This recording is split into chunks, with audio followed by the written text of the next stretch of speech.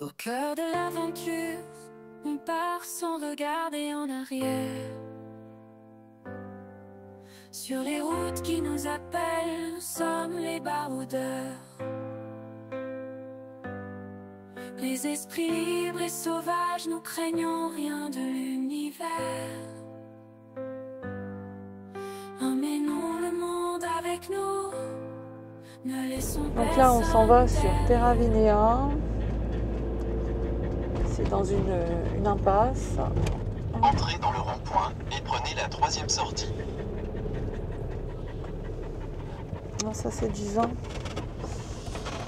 Hop, Terra Vinea, Sijan, tu vois, c'est ce que je te disais, c'était route de Sijan. Ah, et une boulangerie, pâtisserie ici.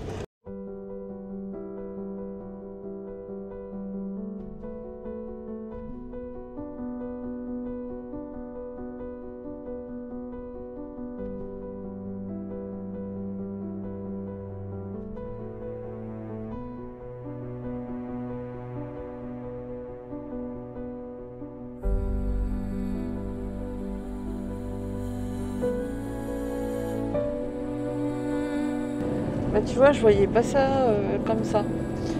Je voyais ça. euh, Waouh, joli bâtiment. Je voyais ça sur une espèce de, de montée. euh,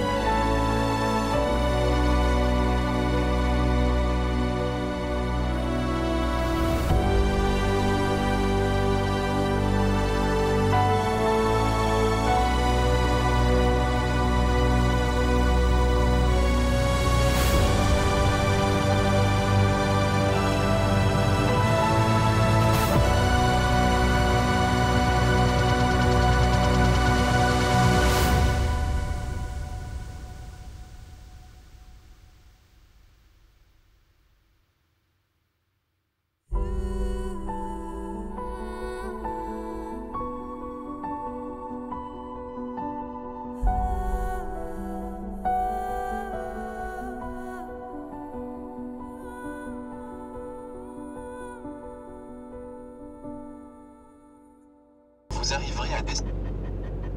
destination. Terra Vinea. Hop.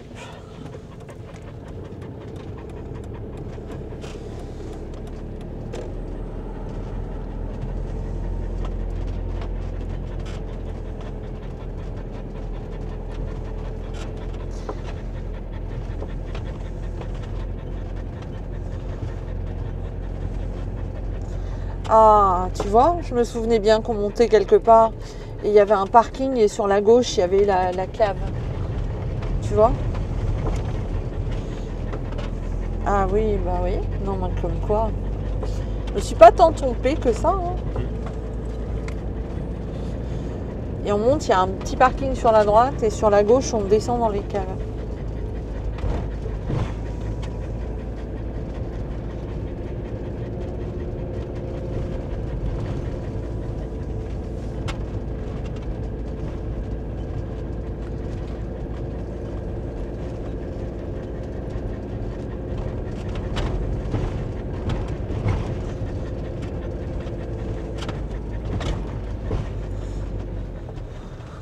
Alors. Ouh, c'est joli ça. Il y a des autocars.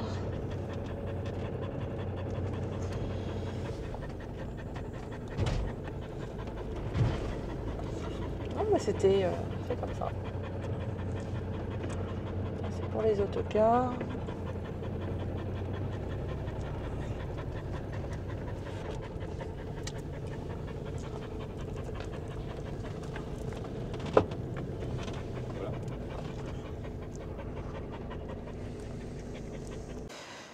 Et voilà le parking de Terra Vinea.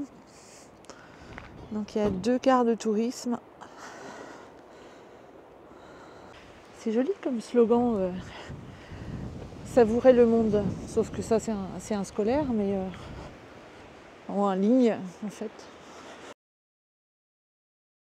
On va voir un petit train. Donc, on a des audio guides.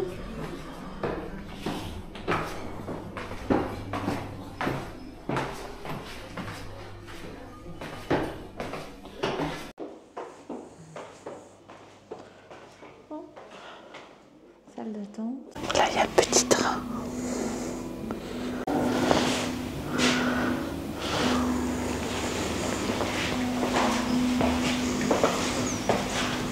Ah, c'est l'usine à plâtre, d'accord.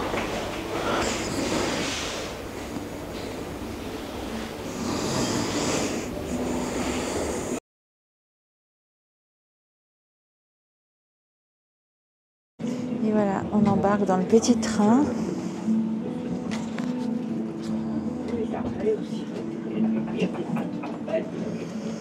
de Terra Vinea. Je me présente, je m'appelle Armand. Et comme une grande partie des habitants de Portel des Corbières, j'ai été mineur et vigneron. Oui, oui, oui, les deux à la fois.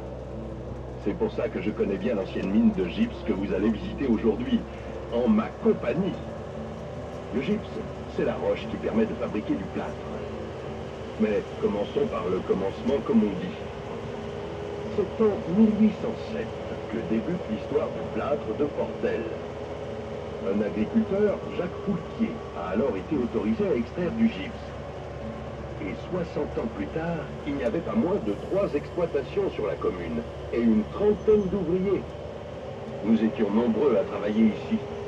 Et du coup, nous étions mineurs une partie de la journée et vignerons le reste du temps. Durant près de 200 ans, des tonnes de gypse ont été extraites dans les 40 km de galeries que compte la mine. Malheureusement, la mine a fermé ses portes en 1992. Mais nous autres, mineurs et vignerons, nous avons eu envie de poursuivre l'aventure des mines, pour ainsi dire. Nous avons transformé ces anciennes galeries aux dimensions exceptionnelles en caves de vieillissement pour le vin et en site de découverte. Ici se trouve donc associée l'histoire viticole régionale et celle de la mine. Et c'est cela que nous allons découvrir ensemble. À 80 mètres sous le massif des Corbières, je vous propose de faire un voyage sous la terre et à travers le temps. Vous verrez comment, de l'Antiquité à nos jours, la vigne a façonné la richesse, l'histoire et le paysage de notre région. Et puis, vous verrez aussi comme elle est belle, cette mine.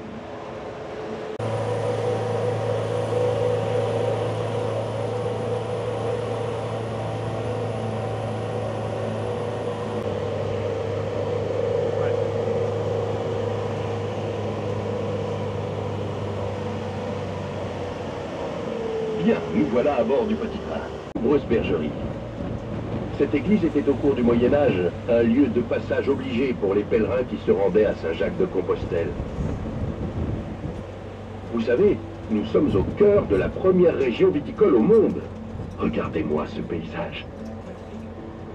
C'est pas rien l'histoire de notre vin. Elle remonte au VIe siècle avant Jésus-Christ, lorsque les Phocéens, des Grecs d'Asie mineure, sont venus s'installer sur la côte méditerranéenne. Dès leur arrivée, ils ont exploité le sol fertile de notre région. Ils ont implanté de la vigne qu'ils avaient emportée d'Asie mineure et qu'ils avaient précieusement conservée dans les cales de leurs bateaux. Celle du Corbière est l'une des plus importantes du marché mondial du vin. On monte en petit train, là on est enfermé. Et là on a 115 marches euh, en fait à descendre. Voilà, donc là on doit descendre, descendre, descendre, descendre au centre de la Terre. Donc on fait 3 play. Nous voilà arrivés à la mine. Nous sommes dans la galerie boisée, longue de 120 mètres. Descendez le long de ce tunnel tout en écoutant son histoire. Cette galerie a été réaménagée en 1993. Mais attention, dans les règles de l'art. Elle a été renforcée uniquement avec des poutres en bois, comme à l'ancienne. Quand nous creusions une portion de galerie, nous devions nous mettre à l'abri, car des blocs de terre ou de pierre pouvaient tomber. Il fallait donc soutenir le sol en l'étayant à l'aide de supports. Dans les anciennes mines, Cette opération s'appelle le boisage, car cela se faisait uniquement avec du bois.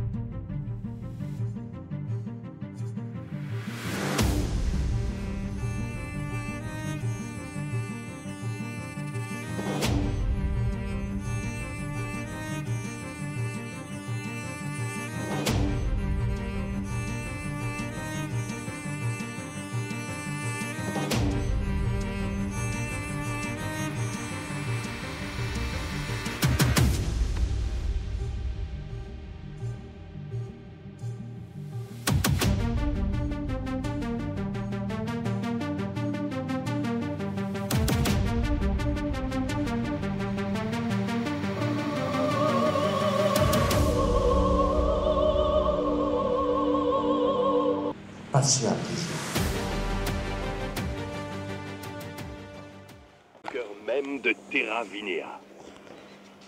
Parcourons ensemble cette grande galerie. Vous n'avez pas pu passer à côté de la présence de ces grands fûts. Comme je vous le disais au début de la visite, la mine de Portel a fermé ses portes en 1992. Quatre ans plus tard, nous, les vignerons de Portel, nous avons décidé de l'aménager en site œno-touristique. C'était une belle occasion de pouvoir utiliser cette galerie comme chai de vieillissement. Cet endroit est idéal pour permettre au vin de s'affiner.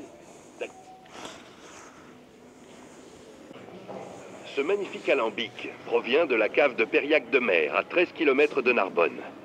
Il est le témoin de l'âge d'or de la fabrication d'alcool fort, qui se situe au 19e siècle.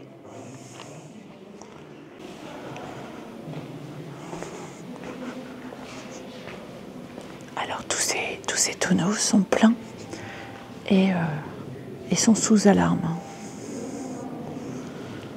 Il y en a énormément. C'est ce qu'on appelle la cathédrale ici. Les fûts, les fûts sont changés tous les 5 ans. Et dans un fût comme ça, il y a à peu près 300 bouteilles.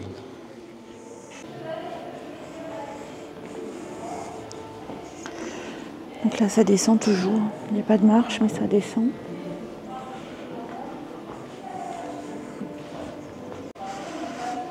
Il y a un car.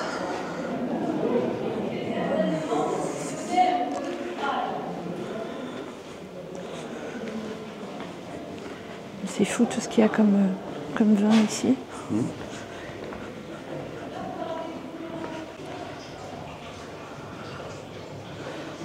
Villa romaine.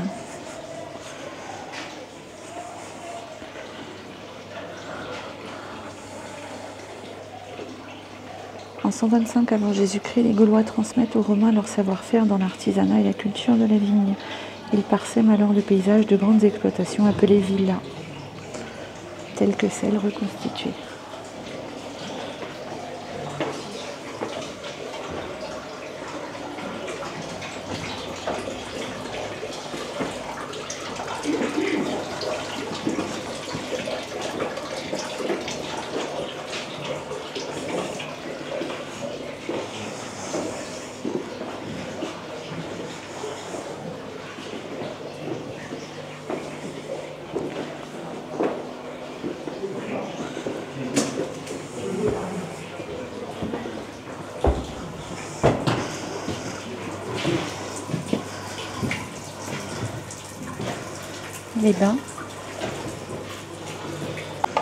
Je pense que c'est un peu le boucher ou les commerçants.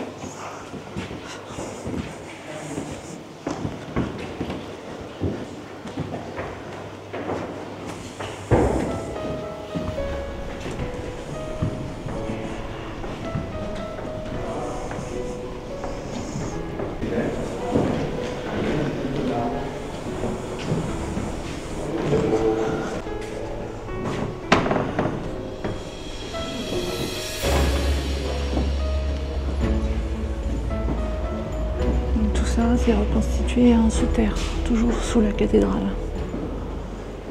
Les foudres se sont ces très grands tonneaux en bois de chêne. Ils peuvent contenir jusqu'à 3000 litres de vin. Ceux-ci sont exclusivement réservés au vieillissement du cépage du grenache noir, un cépage espagnol. Ce vieillissement dure plusieurs mois. Mais il existe des foudres bien plus spectaculaires, comme le foudre de Tuire. C'est exact. Le plus grand foudre du monde se trouve à Tuire, dans les Pyrénées-Orientales. Ce tonneau géant qui appartient à la maison Beer a une contenance de 10 002 hectolitres, soit plus d'un million de litres.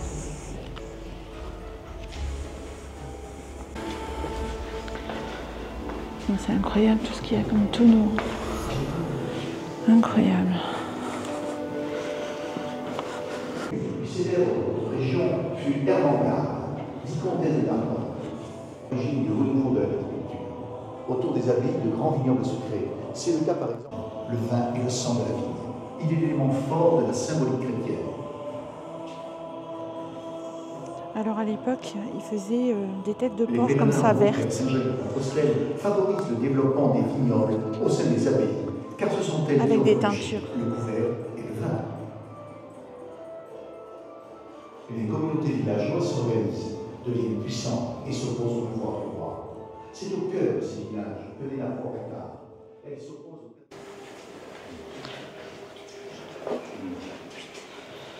c'est pas grave. Donc ils mangeaient sur un, un morceau de pain rassis avec les doigts et chacun apportait son couteau, y compris les dames. Je pense que je vais rechercher des, des explications et vous faire une petite voix off. Par moments, sur le sol, vous avez des, mosaïques vraiment jolies, comme ce bateau, un dracar. Là, vous avez du, du 2008, du 2009 dans les tonneaux. Donc dans Terra Vinea, vous avez des toilettes. Ça permet. euh,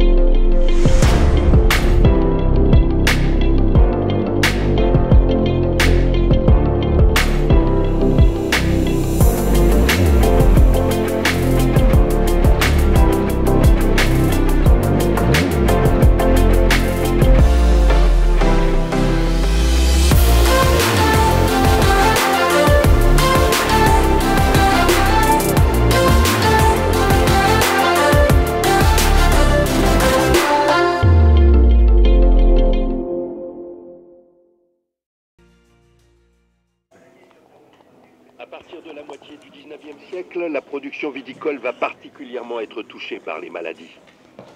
Vers 1850, l'odium, appelé aussi la poussière blanche, fait son apparition. Et contrairement à la pyrale, ce champignon ne va pas se contenter d'attaquer les feuilles de vigne, il va aussi s'en prendre aux raisins, en les desséchant. L'odium a ruiné de nombreux vignerons avant qu'un traitement efficace à base de soufre ne soit trouvé.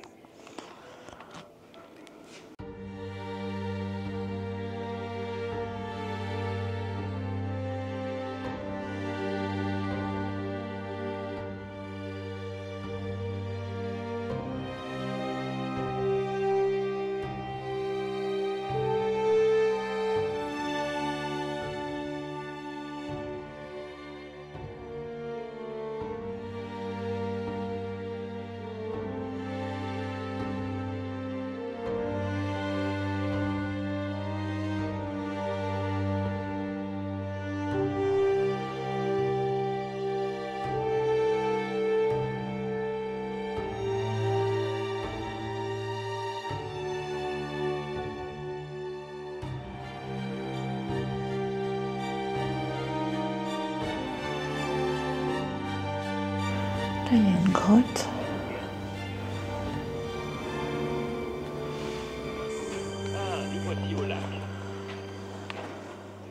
Ce lac est en fait une nappe phréatique souterraine. Son niveau d'eau est plutôt constant. Il varie très lentement en fonction du volume des précipitations extérieures.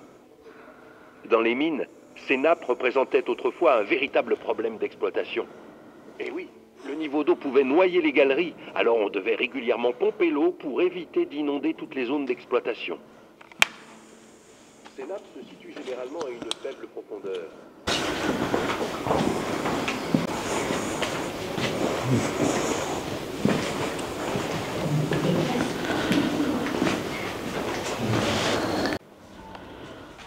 Il n'y a pas de commentaire.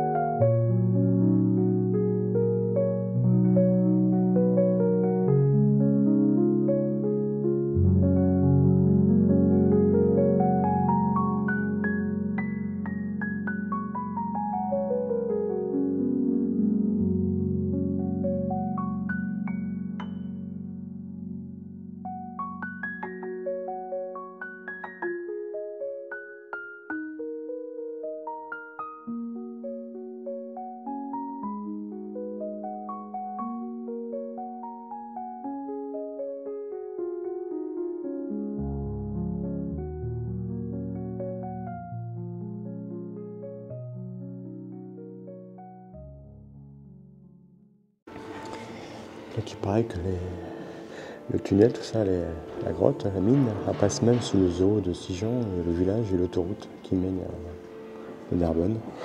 C'est immense. Oui, c'est immense. Faudrait mieux pas que ça s'écroule tout ça. hein. Et voilà, c'est presque la fin de la visite.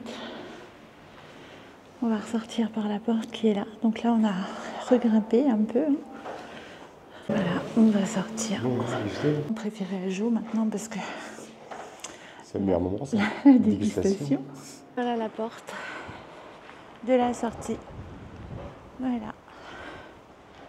Et on retrouve le vent et un petit peu d'air parce que je croyais qu'il allait faire euh, froid. J'avais emmené un polaire. Parce qu'en général, dans les caves, euh, il fait pas très chaud, mais là, il faisait chaud. Donc nous prenons tout doucement le, chemin vers la dégustation. Nous redescendons euh, un petit peu la route et nous dirigeons euh, vers la boutique, non sans apprécier le paysage tout autour de nous. Donc nous entrons avec ces deux barriques à l'entrée. Vous avez une vue euh, du magasin et du restaurant hein, parce que ils servent aussi des plats, du vieux du vieux vin avec des vieilles recettes. C'est de l'hypocras rosé. Moi j'aime pas, on l'a acheté, mais Joël aime bien. Donc place à la dégustation maintenant.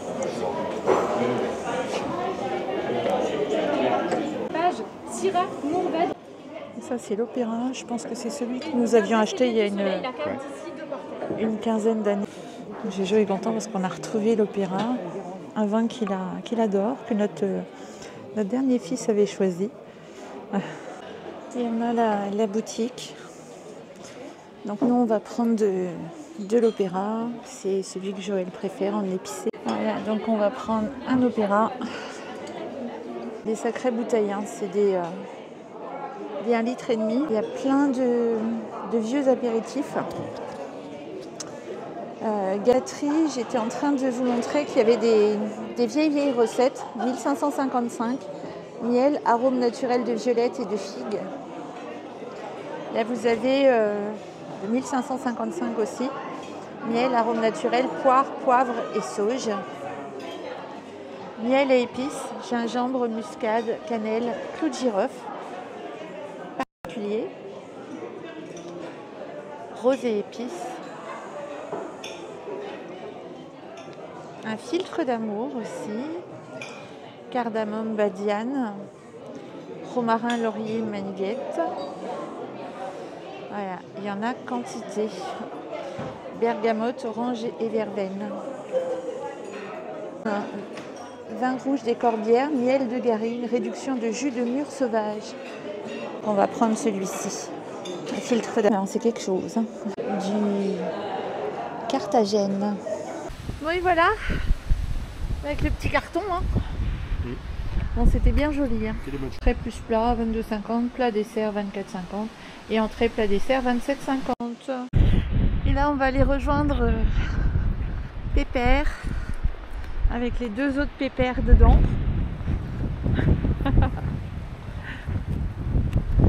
on va voir s'ils sont sages, les petits pépères. Donc, avec le micro, on n'a pas entendu. Voilà, il est, euh, je sais pas quelle heure il est. 12h43. Bah, on va manger là. hein. Nombreux en cette période. hein. on est les seuls camping-cars. Bon, pour ceux qui disent que je suis mal garée, effectivement, mais là c'était un peu difficile avec la moquette sur le côté. Vous venez? Non, le pipi c'est là, les chouchous. Le pipi c'est là. Voilà. Et là on fait pipi. Voilà, là on fait pipi. Voilà, c'est là le pipi.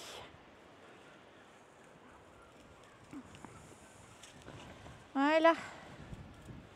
Fait son pipi. Après c'est fait. Atchoum. Atchoum. Atchoum.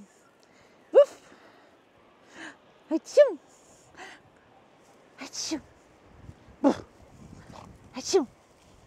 Bouf. Django.